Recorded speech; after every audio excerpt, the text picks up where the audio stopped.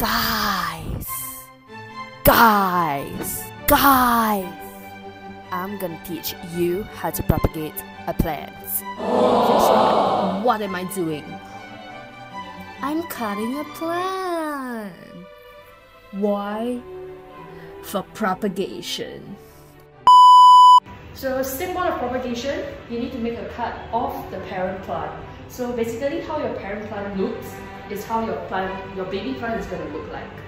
So I go for something a bit younger, not too mature, and then I just strip the bottom leaves off so that I can get a more exposed stem like this.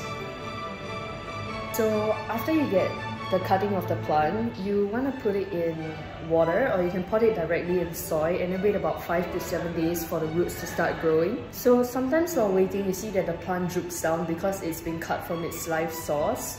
You want to make sure that it's not too droopy. If it's too droopy, just throw it away because it just means that the plant is not strong enough. So this is an example of a plant that has rooted. You can see like the baby roots that's coming out of here.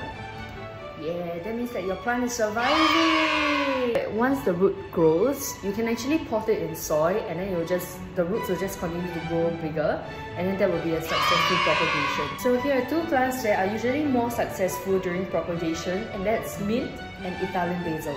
So when you see us around in your workplaces, do feel free to come and ask us for some trainings if you want to try propagating your plants at home. And if it's successful, do tag us on your social medias when you post it. Try it out! Thank you for watching! And I hope you've learned how to propagate your plant.